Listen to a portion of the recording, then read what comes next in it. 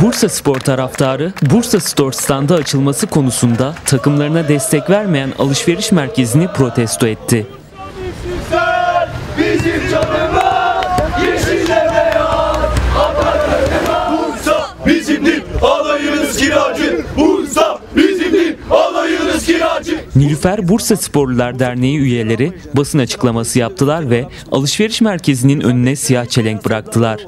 Bursa'nın ekmeğini yiyip yıllarca korner olarak dip köşelerde yer verdiğimiz Bursa storlarımıza destek olmanız gerekirken yüksek bedeller talep edip yok saymanız olarak alışveriş merkezinizi, merkezinize adım atmayacağımızı bildirmek ve bu şehrin en büyük değeri Bursa Spor'u yok saymanızı protesto etmek amacıyla burada toplanmış bulunmaktayız. Can, e, canımızdan kıymetli Bursa Spor'umuza yapılmış her harekette yüz binlerce Bursa Spor sevdalısı olarak kendimize yapılmış sayacağımızı bildiğiniz halde ve İstanbul'un 3 ayrıcalıklı kulübünden birinin mağazası alışveriş merkezinizde, merkezinizde yer alırken yapmış olduğunuz bu davranışın hiçbir tutarlı yanının olmadığını belirtmek isteriz.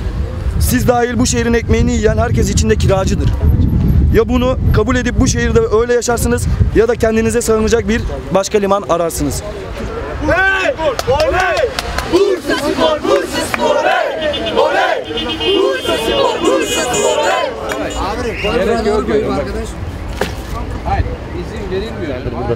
Saatlerdir evet saat e, 11.30-12 civarından beri buralar, buradayız. Amacımız sadece Bursa Spor'a destek olmak, Bursa Spor'a destek olmayanları kınamak. E, Bursa Spor'a, Bursa'ya özellikle Bursa'ya herkesin destek olmasını istiyoruz. Destek olmayanları kınıyoruz. Bursa'mıza sahip çıkmamızı istiyoruz bu kadar. Sahip çıkılması da lazım yani.